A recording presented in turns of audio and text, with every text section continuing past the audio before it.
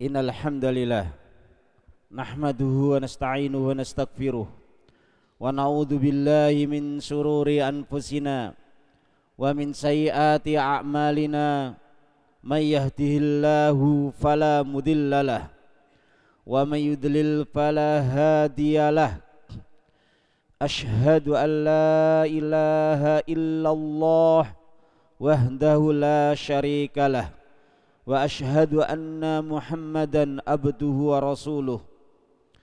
اللهم صل وسلم وبارك على نبينا محمد وعلى آله وأصحابه ومن تبعهم بإحسان إلى يوم الدين. أوصيكم وإياي بتقوى الله. يا أيها الذين آمنوا اتقوا الله حق تقاته. ولا تموتن إلا وأنتم مسلمون يا أيها الناس اتقوا ربكم الذي خلقكم من نفس واحدة وخلق منها زوجها وبث منهما رجالا كثيرا ونساء واتقوا الله الذي تساءلون به والأرحام. إن الله كان عليكم رقيبا. يا أيها الذين آمنوا اتقوا الله وقولوا قولا سديدا. يصلح لكم أعمالكم ويغفر لكم ذنوبكم. ومن يطع الله ورسوله فقد فاز فوزا عظيما. وبعد فإن أصدق الحديث كتاب الله وخير الهدي هدي محمد صلى الله عليه وسلم وشر الأمور محدثاتها وكل محدثة بدعة وكل بدعة ضلالة وكل ضلالة في النار Ma'asyarul muslimin rahimani wa rahimakumullah Puji syukur kita selalu panjatkan kepada Allah Subhanahu wa taala atas nikmatnya yang Allah Subhanahu wa taala berikan kepada kita terutama kita kaum muslimin yang berada di negeri yang kita cintai ini di Indonesia Raya. Allah Subhanahu wa taala memberikan kepada kita anugerahnya anugerah iman, anugerah Islam, anugerah kita berada di atas sunnah termasuk adalah kedamaian yang kita rasakan di negeri kita ini.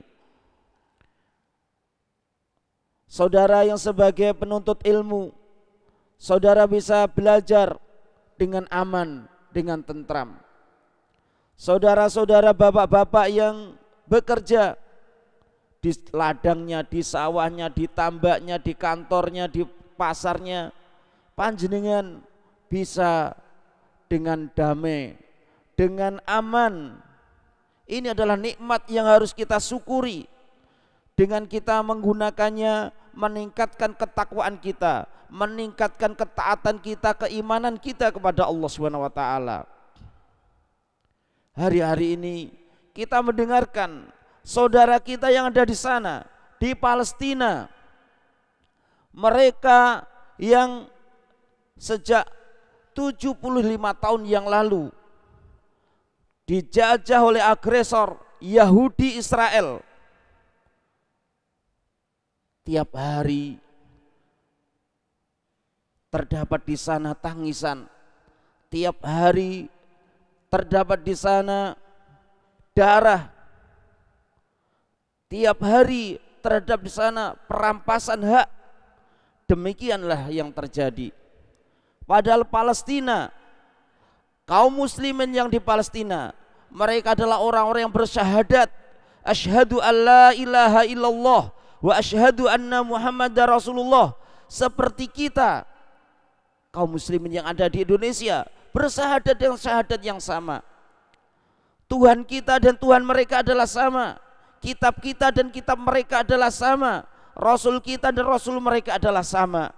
Kita adalah satu tubuh dan hari-hari ini kaum muslimin azani wasakumullah sejak tentara-tentara Hamas mereka melancarkan serangan ke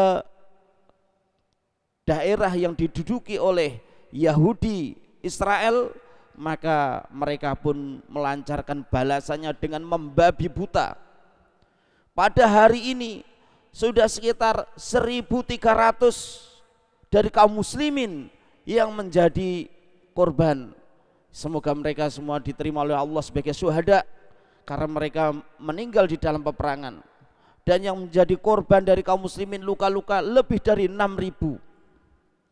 Kemudian tempat mereka di jalur Gaza tepi barat dan juga jalur jalur Gaza bagaimana mereka diblokade oleh Yahudi Israel oleh Yahudi Israel saya katakan demikian jadi kita sebutkan Yahudi Israel jangan menyebut hanya Israel saja karena Israel Israel itu adalah bahasa Ibrani yang artinya hamba Allah yang itu adalah nama lain daripada Nabiullah Yakub alaihissalam. Oleh karena itu kalau kita ingin menyebutkan mereka adalah bangsa penjajah orang-orang Yahudi Israel. Mereka memblokade jalur Gaza, memblokade yaitu tepi barat listrik, kemudian pasokan makanan, pasokan alat-alat kesehatan, medis semuanya diblokade. Maka inilah ada beberapa renungan yang hendaknya kita renungkan tentang peristiwa yang terjadi pada kaum muslimin di Palestina ini. Kaum muslimin azani wa azakumullah. Rasulullah sallallahu alaihi wasallam telah bersabda dalam hadisnya Nu'man bin Bashir radhiyallahu anhu qol qala Rasulullah sallallahu alaihi wasallam masalul mu'minin fi tarahumihim wa tawaddihim wa ta'atufihim kama salil jazad kama salil jazadil wahid. Idza ishtaka adwan tada'alahu sairu jasadihi bisahari wal huma rawahul bukhari wal muslim.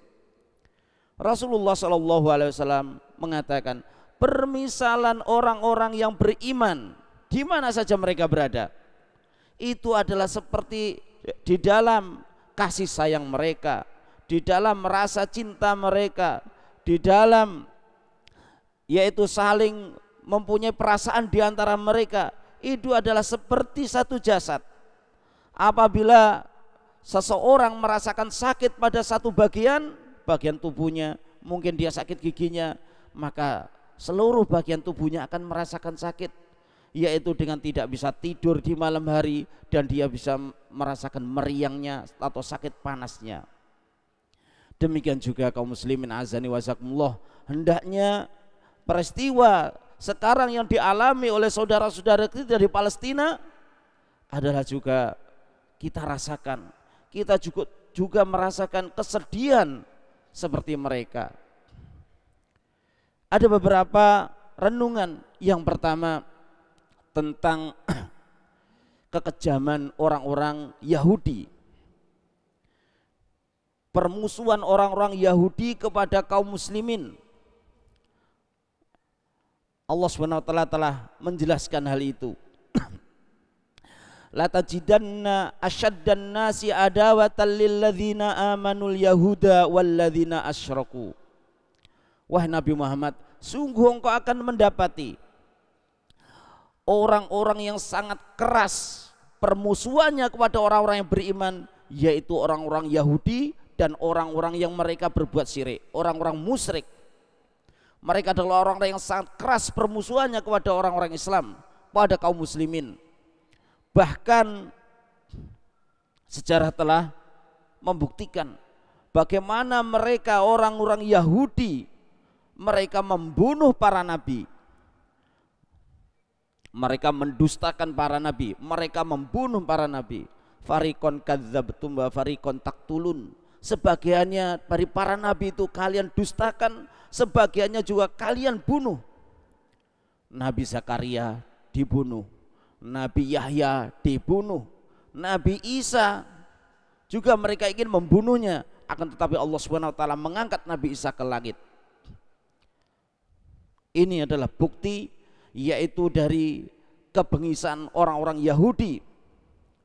Dan juga Allah taala telah menerangkan walang tardo angkal yahudu walan nasara hatta tattabi'a millatahum.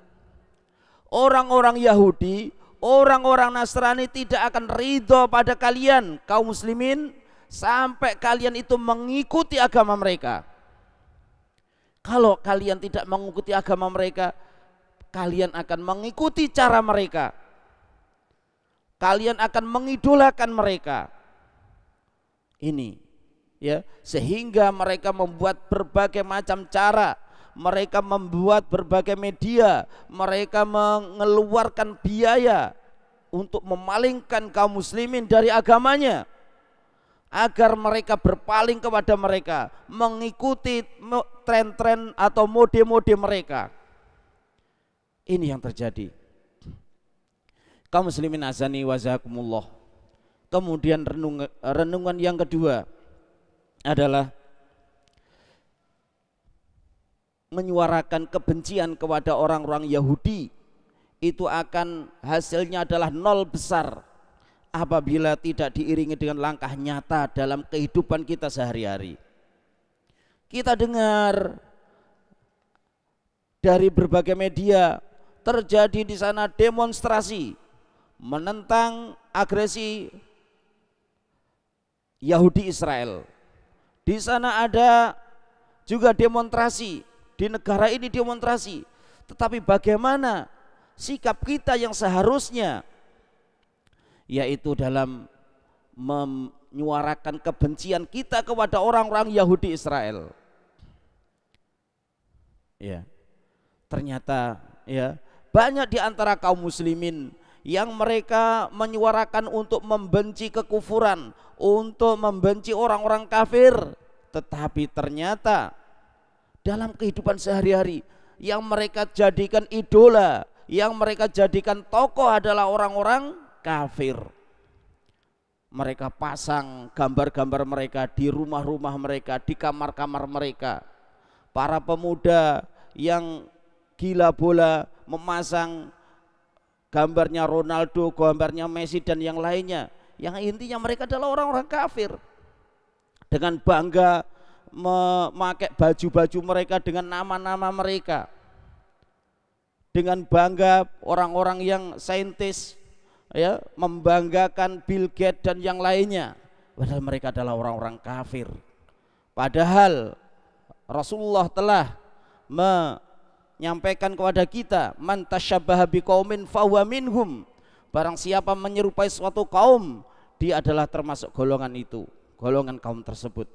Allah Subhanahu wa taala telah memperingatkan la tajidu qauman yu'minuna billahi wal yaumil akhir iwad yuwadduna man hadallahu wa rasulah. Engkau tidak mendapati wahai Muhammad suatu kaum yang beriman kepada Allah dan hari akhir kok mereka itu mencintai orang-orang yang menentang Allah dan Rasulnya? Kaum muslimin azani wa azakumullah. Kemudian yang ketiga renungan yang ketiga adalah musibah yang menimpa kita menimpa kaum muslimin itu adalah hasil dari perbuatan kita sendiri. Berbagai musibah yang menimpa kaum muslimin itu adalah hasil dari perbuatan mereka sendiri. Ma asabaka min hasanatin faminallah wa ma asabaka min sayiatin famin indik. Apa pun yang menimpa dari kebaikan itu dari sisi Allah dan apa yang menimpa kepadamu dari keburukan itu adalah dari kesalahanmu diri sendiri. Surat An-Nisa ayat 79 dan juga Allah menerangkan zuharul fasadu fil barri wal bahri bima kasabat aidin nas. Liyudhiqahum ba'dalladzi amilu la'allahum yarji'un. Telah nampak kerusakan di daratan dan di lautan disebabkan ulah tangan manusia. Kerusakan disebabkan oleh tangan manusia agar Allah SWT menimpakan kepada merasakan kepada mereka sebagian yang mereka kerjakan. Hikmahnya la'allahum yarjiun supaya mereka adalah mau kembali.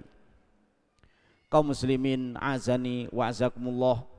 Semoga Allah taala memberikan pertolongannya kepada kaum muslimin khususnya di bumi Palestina dan umumnya di seluruh bumi ini di mana di sana ada kaum muslimin yang tertindas kita berdoa semoga Allah Subhanahu wa taala memberikan pertolongannya kepada mereka Allah Subhanahu wa taala memberikan taufik kepada kita sehingga kita bisa memperjuangkan agamanya sehingga kelak Allah akan mengembalikan kejayaan Islam dan kaum muslimin kepada kita semuanya.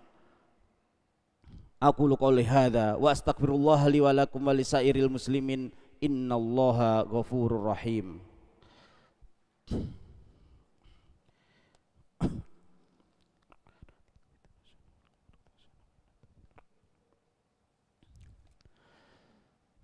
Alhamdulillahi Rabbil Alamin.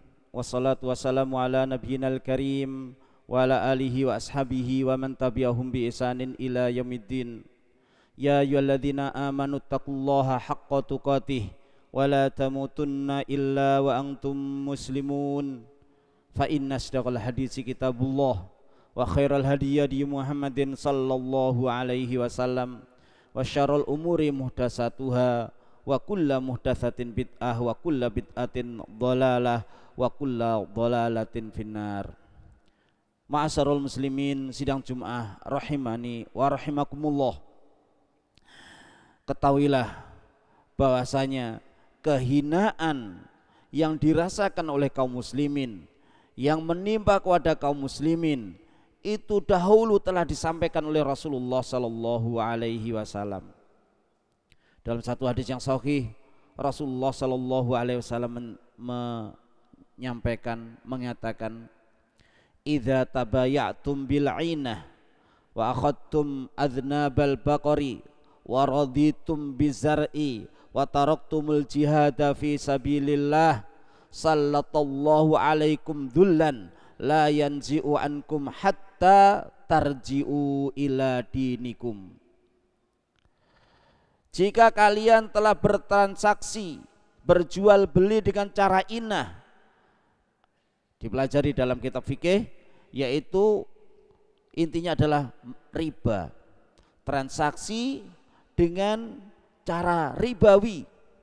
Jual beli dengan cara ribawi, kemudian utang piutang dengan cara ribawi dan yang lainnya.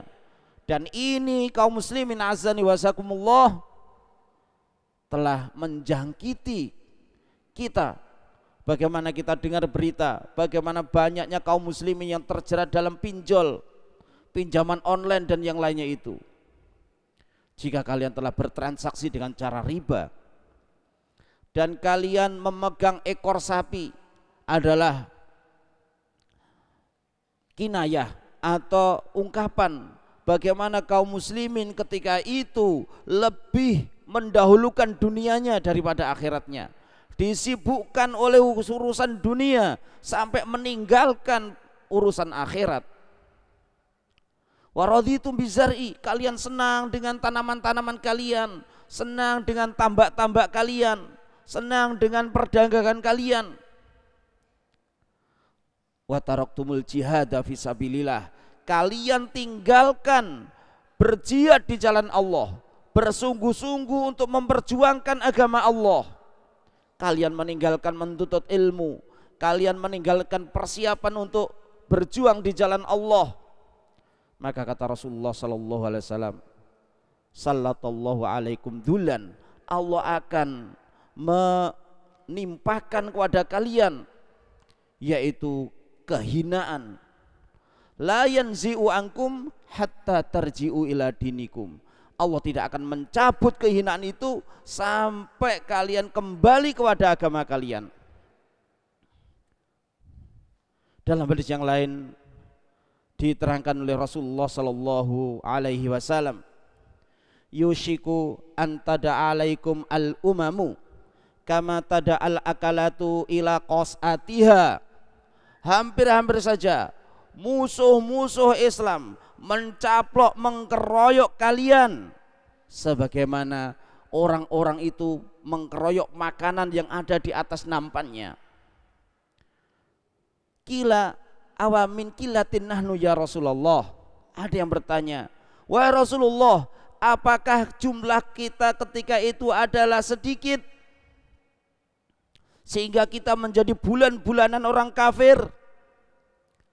Kata Rasulullah, "Bal antum yauma idzin katsirun." Ya, bahkan kalian pada hari itu, pada zaman itu jumlah kalian adalah banyak. Walakinnakum guthaun. Akan tetapi kalian itu adalah buih kagutha isaili seperti buih banjir. Seperti busa buih banjir. Ataupun buih yang ada di lautan. Walayanzi'annallahu min qulubi aduwikum al mahabata minkum. Sungguh-sungguh Allah mencabut dari hati musuh-musuh kalian perasaan takut kepada kalian. Kalau zaman dahulu zaman keemasan Islam musuh-musuh Islam mereka baru mendengarkan takbir mereka sudah gemetar. Itu adalah rokbu ataupun al-mahabbah. Mereka orang-orang musyrik, orang-orang kafir mempunyai perasaan takut kepada orang-orang Islam. Nah, ketika itu Allah akan mencabut perasaan takut dari hati orang-orang kafir. Walakdzifannallahu fi qulubihimul alwahna, fi qulubikumul alwahna. Dan sungguh Allah akan menanamkan pada hati kalian itu pada waktu itu kalian kaum muslimin mempunyai penyakit wahan itu tadi yang membuat kaum muslimin dihinakan oleh orang-orang kafir. Qalu wa mal wahnu ya Rasulullah? Apa itu wahnu wa Rasulullah? Qala hubud dunya wa karahiyatul maut yaitu cinta dunia dan takut mati. Kaum muslimin azani wa azakumullah. Marilah ya dalam kesempatan ini kita mohon kepada Allah Subhanahu wa taala sebagai bentuk solidaritas kita kepada kaum muslimin yang ada di Palestina minimal adalah doa. Kita panjatkan doa kepada Allah agar Allah taala menolong mereka. Allah taala memberikan solusi bagi mereka. Allah taala menghancurkan musuh-musuh mereka. Dan apabila nanti apabila ada e, badan-badan atau lembaga-lembaga yang terpercaya mengumpulkan donasi untuk mereka kita bisa membantu mereka. Apabila ada lembaga-lembaga yang terpercaya, mereka mengumpulkan donasi untuk membantu kaum muslimin yang ada di Palestina, maka kita juga turut membantu mereka sebagai bentuk solidaritas kita sebagai kaum muslimin. Innallaha wa malaikatahu yusalluna 'alan nabi ya ayyuhalladzina amanu sallu 'alaihi wa sallimu taslima. Allahumma salli ala Muhammad wa ala ali Muhammad kama sallaita ala Ibrahim wa ala ali Ibrahim innaka Hamidum Majid. Allahumma barik ala Muhammad wa ala ali Muhammad kama barakta ala Ibrahim wa ala ali Ibrahim innaka Hamidum Majid. Rabbik firli lil mu'minin wal mu'minat wal muslimin wal